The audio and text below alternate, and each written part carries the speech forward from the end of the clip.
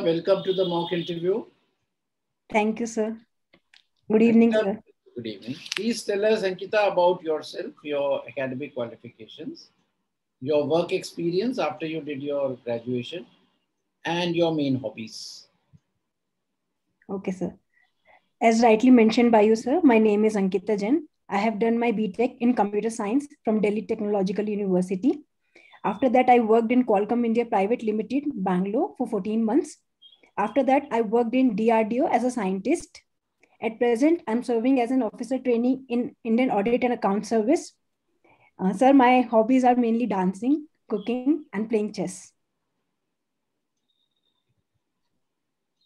So tell me, uh, uh, Ankita, how the digital technology, the computer sciences have been applied in uh, in the you know uh, accounts and auditing uh, uh, ecosystem uh, and in the CAG.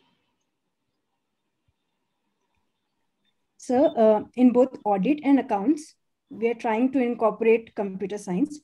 In accounts, we have a system called VLC system. So this system, we do all the accounting. So most of the our accounting is automated as of now. In audits, uh, we are trying to use computer uh, technology by retrieving the digital data from the departments.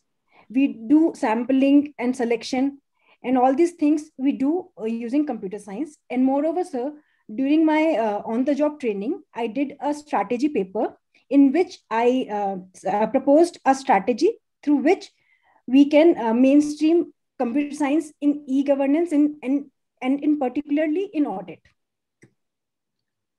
And Ankita, now that you are aiming to get into higher services and IAS, uh, suppose you were the district collector, then how would you apply computer science in data which is being generated today is digital. So if we want to do analysis of a particular area in our district itself, if you want to do uh, some analysis related to health or it, is it related to education, we can do it using computer science. So uh, during audit also, I came across uh, education, uh, one audit report on education. We use data extensively. And if similar analysis can be done beforehand during the uh, administration itself at the collectorate office, I think it, it would be very helpful. And th- uh, in this way, we can uh, utilize the computer science in administration also.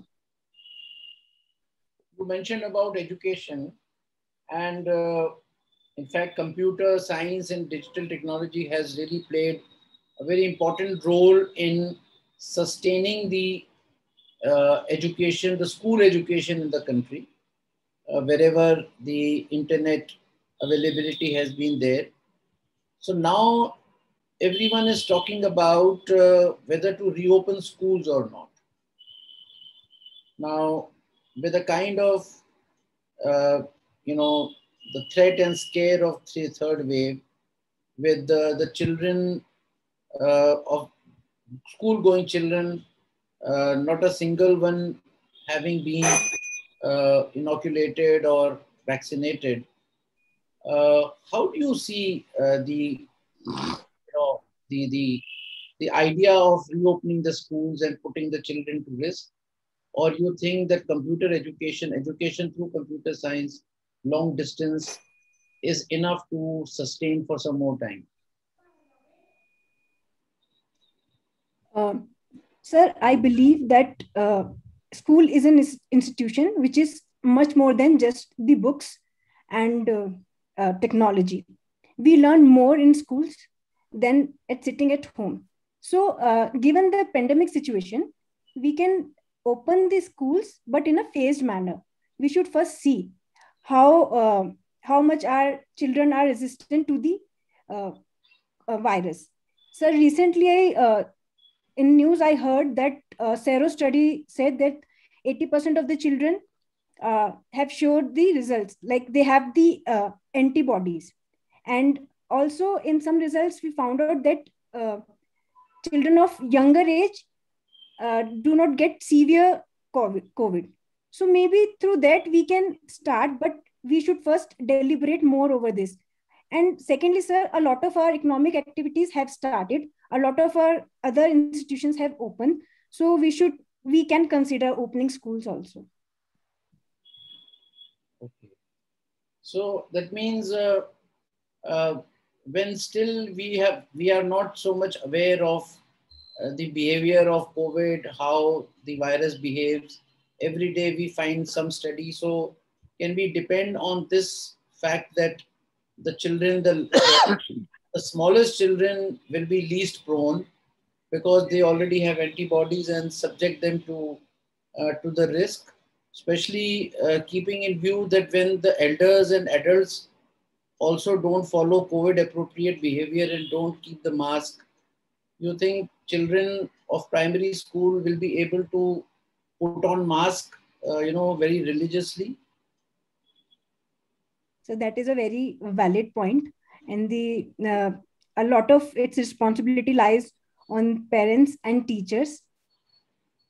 I agree that children might not uh, uh, follow COVID appropriate behavior so religiously.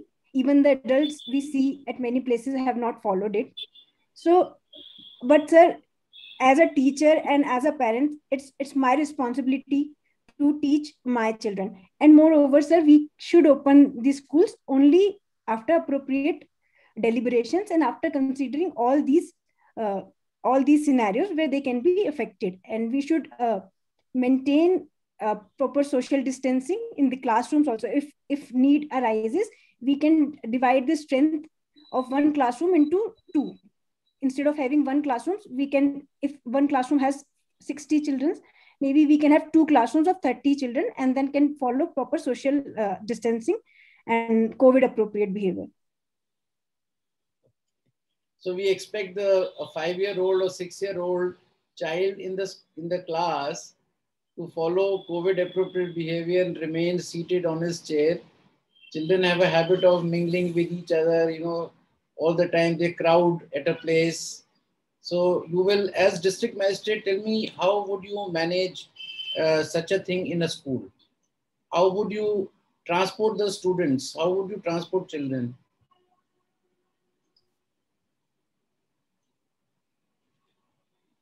Sir, in school buses also, we can uh, we can have protocols of sitting and arrangements.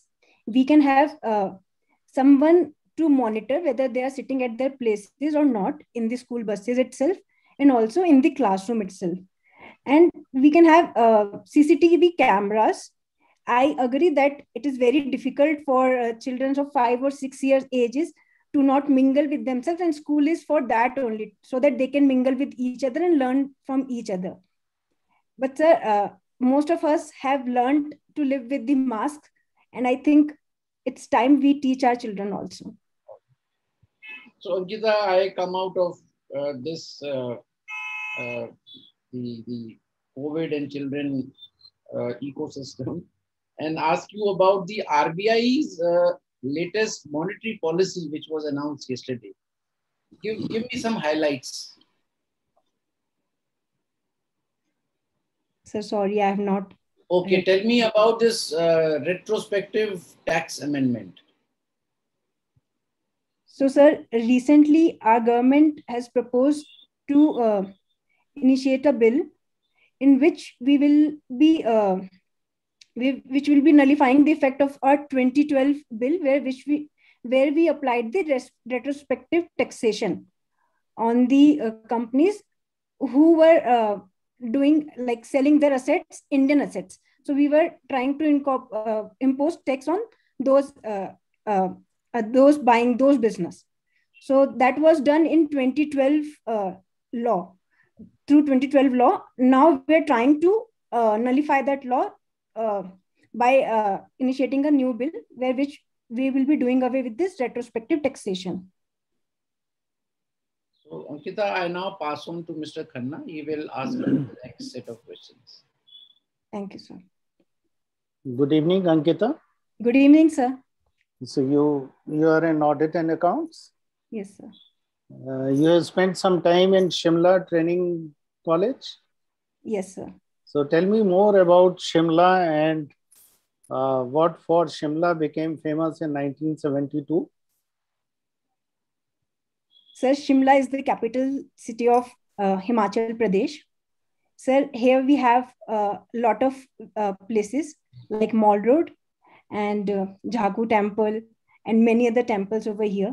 So in 1972, it was famous for uh, Shimla Accord. There was a court between uh, uh, Pakistan, India, treaty in Shimla. So what were the main points? Who signed this treaty and what is the present status of Shimla Accord between India and Pakistan? So it was a peace treaty and uh, signed by the heads. Uh, sir, uh, I am do I don't remember exactly the facts of the treaty. Okay, so read about it because we have yes. lived in Shimla and yes. it's one of the important happenings of Shimla. Yes, sir. And then relate it to the present day India's uh, foreign policy with Pakistan. So, what are the points of confrontation? Whether Shimla agreement violation is also one of them. All right. So, I find that uh, in your options, you have given Indian Revenue Service as a third option. Yes. Are you not happy in uh, audit and accounts? No, sir. I uh, respect and honor my service. Sir, Indian uh, Revenue Service I have given because I feel that I get to live at a place for more years in Indian Revenue Service compared to Indian Audit and Account Service. So this was the main reason for uh, giving Indian Revenue Account uh, Indian Revenue Service. Moreover, uh, options for deputations are more in Revenue Service. Oh, and what about IAS? Uh, uh, you have very frequent transfers. Uh, if you uh, you have heard of the cases of IAS officers who don't toe the line of politicians and they get transferred. So transfer is linked to any government job.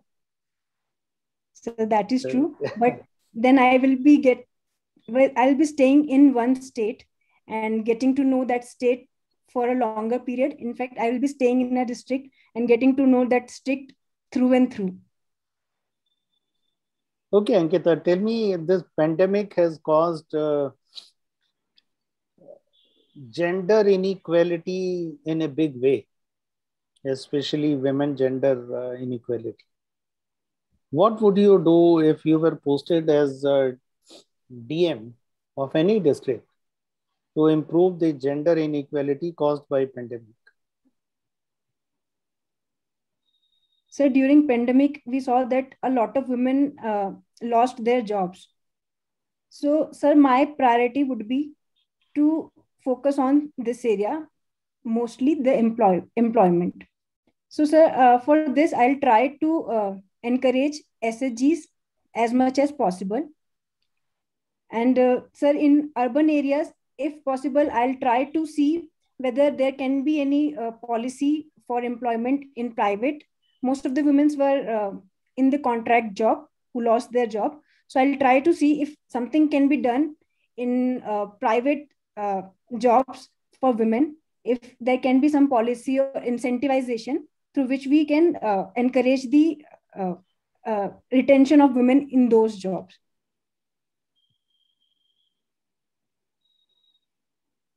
Uh, you took part in Himalayan trek also? Yes, sir. So, what you have to say about pollution caused by all these trekkers who go to Himalayas, and uh, how can we save Himalayas from pollution? Sir, Himachal government has a policy for trekking. So my trek was uh, in Himachal, and in fact, Uttarakhand government also has. So most of the treks which are being organized today so they are collecting their waste and, and coming back with the waste itself. So I have been to Buran trek twice, Buran Pass twice. And in and during both the treks, we were collecting our waste ourselves and we came back with all our waste. And uh, even if there is someone if there if even if there is someone who's not following this policy not following this so we should have some monitoring uh, mechanisms. And i'm quite sure that himachal government has it.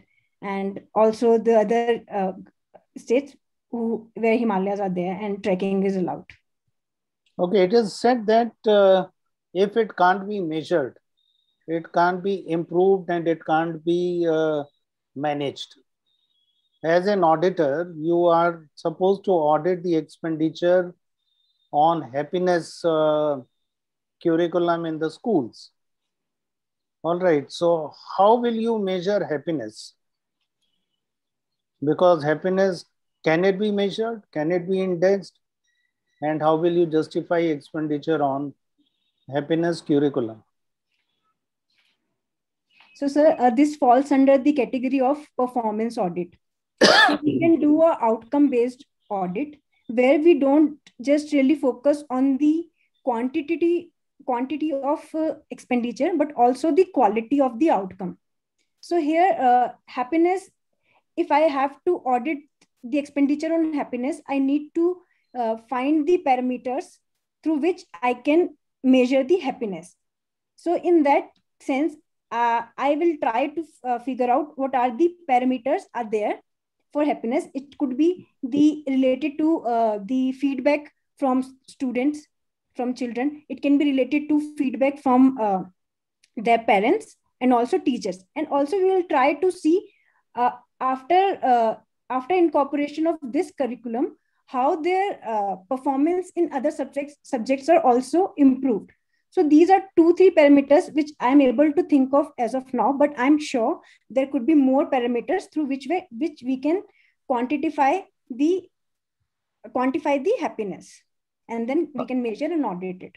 In the era of disruptive technology especially blockchain uh, what would be the future of accounts and audit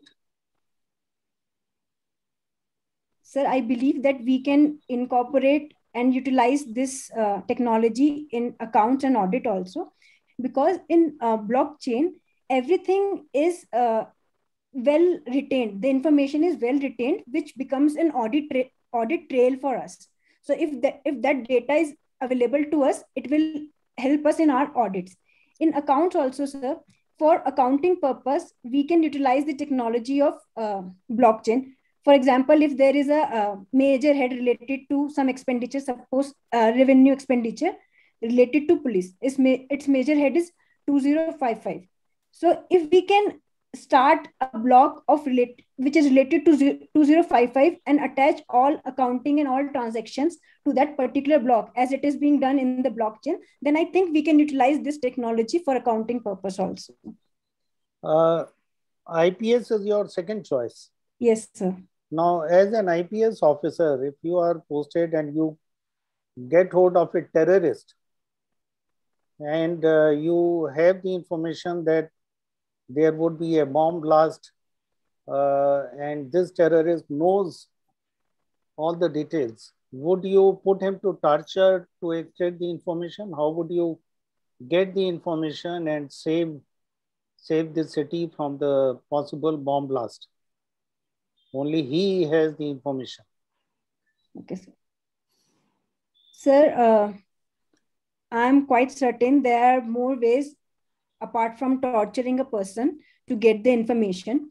And in and as far as I have known Indian Police Service, I know that there are a lot of methods with them through which they can extract information from the person instead of torturing them pers- that person. So, sir, I will utilize those methods first to get the information. But, sir, if if need arises that I am not getting the required information, I'll try to um, uh, look for the uh, uh, look for these uh, locations as much as possible. I I'm uh, I believe that our intelligence service intelligence uh, cell also has some kind of information so based on that information and based on the hotspots in the area i'll try to search and uh, find out the spot where the bomb blast could be possible could could happen and sir only as the last resort because I believe that I have to save people also. I may uh,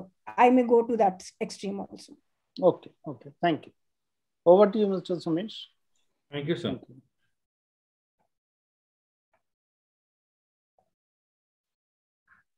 Okay. Good evening, Ankita. Good evening, sir. Okay, I see your optional subject is philosophy. Yes, sir. Okay, so can you differentiate between a thinker, a scholar, and a philosopher?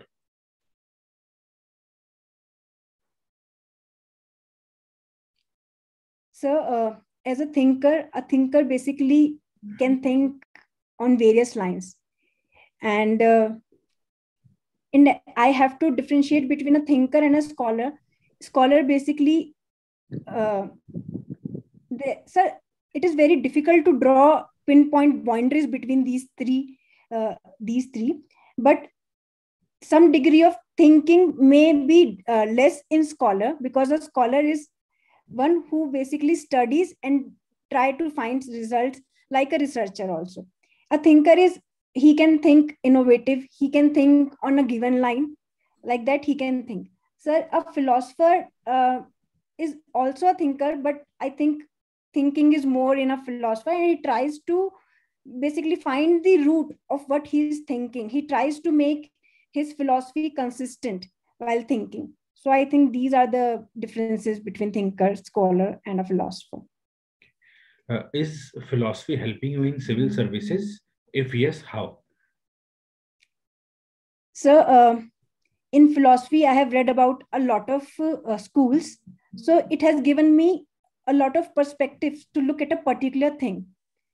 So, I think due to this, I have become more acceptable to others' views I believe that there is not a single view which is right or wrong.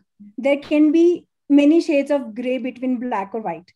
So this is how philosophy has helped me. For example, in Syadvad of uh, Jainism, or uh, uh, in Buddhism also, in Vedanta also. So Buddhism has Buddhism has looked at uh, world from a different perspective, and Vedanta also has looked at world at, from a different perspective and both are consistent. Similarly, in Jainism, there is a theory called Syadvad, which says there are various perspectives to look at a thing. So I think this is how philosophy is helping me in my civil service administration also. Okay. Okay. Uh, can you tell me about the recent issue between uh, Mizoram and Assam and how can you address the situation?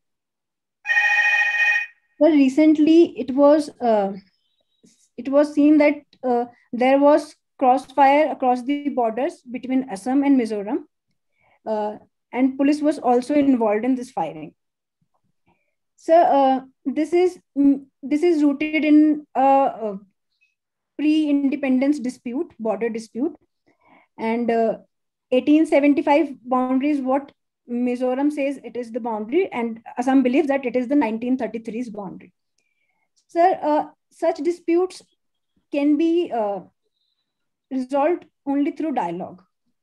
And uh, I believe that there has to be a mediator for, force between them. For example, recently Center has also uh, employed their neutral forces between them. So similarly, Center can, uh, central government can help in the mediation and resolve the situation. Uh, can you tell me uh, what is cryptocurrency? How is it different from digital currency? And uh, how can I buy cryptocurrency in India? Sir, uh, any currency which can be encrypted is a cryptocurrency. And uh, digital currency needs not be encrypted. So basically, if uh, my cash is in digital form, it is a digital currency. But if I encrypt it using some algorithm, so that becomes a cryptocurrency. Sir, uh, in India, uh, earlier government was against uh, the uh, cryptocurrency, but recently uh, Supreme Court has said that there is no ban. So I'm not really sure how we buy it, but uh, it, it is allowed as of now. Okay. Okay, I pass on to Chairman, sir. You. So, Ankita, uh, uh, you, we have a defined system of auditing the government, the departments. Now, this is a an era of privatization of services. Can you think of uh, the idea that uh, the auditing of government departments, which is being done by uh, the CAG and their officers, can be privatized and given to private auditors the way they are doing for corporate companies and also in the cooperative sector. So, uh, in corporations, we generally do uh, the, there are two kinds of audit, statutory audit and supplementary audit. Even if a private com a private firm is auditing these PSUs or corporations, CAG does audit afterwards, supplementary audit. So, sir, uh, CAG's audit is in this sense in, inevitable because private firms are mainly driven by the profit motive while the cag is driven by the public service and when it comes for to the public purse i think it, it should be kept at uh, it, it should be kept in public hands only so sir maybe we can try uh, privatizing the auditing of these departments but in the end it will have to go through the uh, cag scrutiny like we do the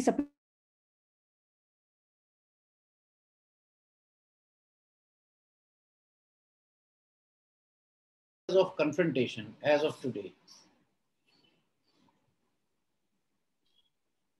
So, uh, on borders also, we have uh, confrontation, uh, defense. And uh, so apart from that, we have confrontations in economy, economic aspects. We have trade deficit with China and uh, we are competing for the uh, foreign markets. And so, as far as uh, strategies related to the not so friendly neighbors of India, I think India and China has different stance over those. So at present, I could think of these three main uh, uh, confrontations between India and China. So Ankita, uh, we I have completed uh, the questions which I wanted to have in this round. Now, the last question that I would ask you would be from a subject of your choice. Okay. So, if you can let me know any subject or topic, I can ask a question from that area. Sir, uh, I believe that artificial intelligence in audit can be one area which can be explored. Very nice. So tell us something if we have done any breakthrough of using AI in uh, the auditing. And you can also tell us something more beyond AI. Okay, sir. Sir, uh, at present, uh, CAG is developing systems where which later on where we will be incorporating AI in private sector i have seen that uh, ai has been incorporated in audit at various places for example there is uh, one software called kpmg's clara so they are basically using this software for better vis visualization of their uh, data using ai similarly sir we have uh, algorithms such as supervised learning and uh, uh, unsupervised learning. These algorithms can be used in specific audits. For example, supervised learning can be utilized in compliance audit and uh, unsupervised learning can be uh, utilized in financial audits. And sir, if we have to go beyond uh, AI, then maybe we can uh, we can think about blockchain and AI incorporated, and at a later stage, maybe quantum computing and AI incorporating. That will because AI uh, requires a lot of processing. And if we have the power of quantum computing, then maybe we can uh, faster that process also. Good. So, Ankita, we finish our interview now.